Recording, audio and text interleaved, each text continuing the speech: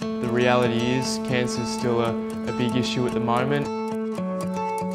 I'm Nick, I'm 17 years old. I was diagnosed with osteosarcoma at the age of 15 and through that year of treatment it's just made me feel more resilient.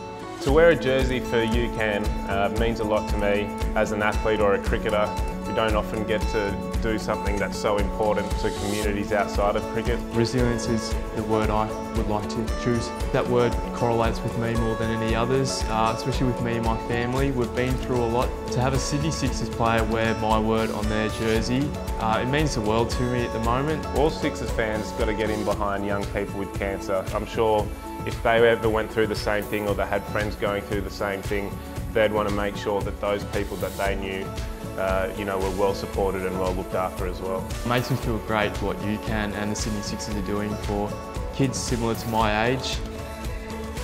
Get out your phone and text You Can on 0437 371 371 and let's make sure no young Australians are left to face their cancer alone.